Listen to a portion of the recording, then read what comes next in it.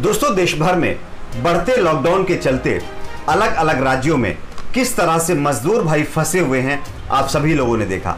मजदूरों को ना तो टाइम पर खाना मिल पा रहा था, ना वो ज़रूरत की चीज़ें जो उनकी ज़रूरत थी। लेकिन जिस तरह से मजदूरों को घर पहुँचाने के लिए उनके मांग हुई, उसको सरकार ने एक्सेप्ट तो ज़रूर कर लिया मान तो ज़रूर लिया। लेकिन मजदूरों को उनके घर तक पहुँचाने के लिए जो स्पेशल ट्रेनों का इंतज़ाम किया गया उसमें जो किराया वसूला जा रहा है, उसका मामला अब तूल पकड़ रहा है। और इसी को लेकर के सुप्रीम कोर्ट में मोदी सरकार की एक बार फिर पोल खुल गई है।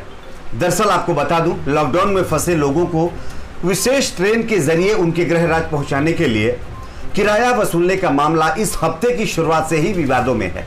दरअसल केंद्र सरकार और भाजपा नेता ये दावा कर रहे हैं कि रेलवे परिवहन का पचासी फ़ीसदी खर्चा केंद्र सरकार उठाती है और 15 फ़ीसदी खर्च वाहन राज्य सरकारों को करना होगा।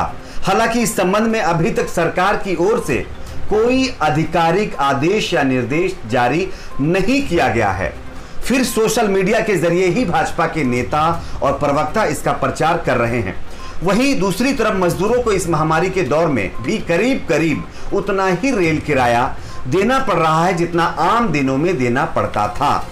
और यही मामला अब सुप्रीम कोर्ट पहुँचा है। और सुप्रीम कोर्ट में ये पूरी तरह से पोल खुल गई है कि कौन सी सरकार, राज्य सरकार या केंद्र सरकार कितना किराया मजदूरों का उठा रही हैं, भर रही हैं। आप सभी जानते होंगे कांग्रेस पार्टी ने इसी को लेकर के मोदी सरकार पर निशाना साधा था। और कांग्रेस पार्टी की पूर्व अध्यक्षा सोनिया गांधी ने यह ऐलान किया था कि जितने मजदूर भाई अलग अलग राज्यों में फंसे हुए हैं, उनको उनके घर तक पहुँचाने के लिए ट्रेन के किराए का जितना खर्चा होगा, वो कांग्रेस पार्टी उठाएगी और कांग्रेस शासित राज्यों की सरकारें उठाएँगी। उसके बाद बीजेपी ने कांग्रेस के ऊपर यह आरोप लगा दिया कि कांग्रेस तो मजदूरों पर यानी कि राजनीति कर रही है। आप सोचिए, अगर खुद कोई काम नहीं कर पा रहा है, अगर दूसरा भी कर रहा है तो उसको भी करने नहीं दिया जा रहा है। खैर, इसी को लेकर के सुप्रीम कोर्ट मामला पहुँचा है। हम आपको बताते हैं सुप्रीम कोर्ट में क्या कुछ हुआ है, लेकिन उससे पहले आपसे एक छोटी सी रिक्वेस्ट है, अगर आपको भी लगता है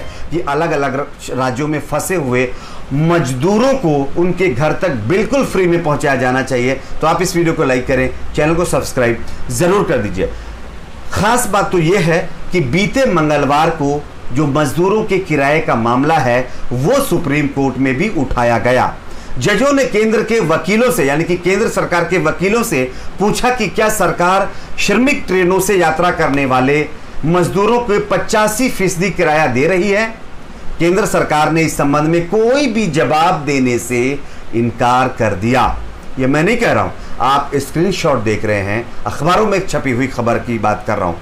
सरकार ने यह भी नहीं बताया कि प्रति टिकट पर केंद्र और राज्य सरकारें मिलकर कितनी सब्सिडी दे रही हैं और प्रवासियों या मजदूरों से कितनी राशि, यानी कितना पैसा वसूल कर रही हैं। जबकि मोदी सरकार के प्रवक्ता और जो नेता है, लगातार ये कह रहे हैं कि हम तो पचासी फ़ीसदी सब्सिडी दे रहे हैं। लेकिन सुप्रीम कोर्ट में ऐसी कोई बात सामने नहीं है। जब मोदी सरकार की तरफ़ से अपनी पैरवी करने वाले वकीलों से सवाल पूछा गया कि आप बताइए कितनी सब्सिडी दे रहे हैं तो उन्होंने किसी भी जवाब देने से इनकार कर दिया। कोई भी किसी तरह का जवाब नहीं दिया गया। द टेलीग्राफ की रिपोर्ट के मुताबिक सॉलिसिटर जनरल तुषार मेहता ने कोर्ट से कहा है कि इस संबंध में जानकारी देने के लिए उन्हें कोई निर्देश नहीं मिला है। यानी कि कोई भी निर्देश नहीं दिया गया है। सामाजिक कार्यकर्ता जगदीप छोकर ने सुप्रीम कोर्ट में जनहित याचिका दायर कर लॉकडाउन में फंसे प्रवासी मजदूरों, छात्रों और इत्यादि को कोरोना जाँच के बाद उन्हें उनके घर वापस लौटने की इजाज़त देने की मांग की थी, जिसको लेकर के यह मामला सुप्रीम कोर्ट में पहुँचा था। अब आप समझ सकते हैं, करनी और कथनी में कितना फ़र्क होता है। टीवी चैनल्स में आकर आकर के आप भाषण दे दे जाएँ और ये कह दें, हमने तो गरीबों के लिए इतना कर दिया, उतना कर दिया। लेकिन ग्राउंड रियलिटी क्या है? आप देख कितना रहे हैं। जब सुप्रीम कोर्ट में मामला पहुँचा तो सब फूल खुल के सामने आ गई आपकी इस पर क्या राय है? नीचे कमेंट बॉक्स में ज़रूर बताइए। इस वीडियो को लाइक करिए, शेयर करिए, चैनल को सब्सक्राइब ज़रूर करें।